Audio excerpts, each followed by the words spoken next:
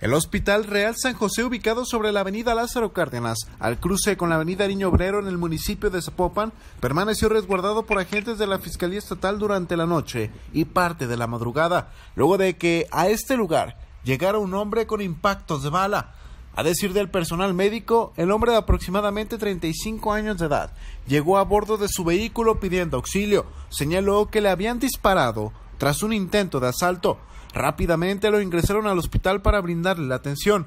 Presentaba al menos dos impactos de bala en el cuerpo.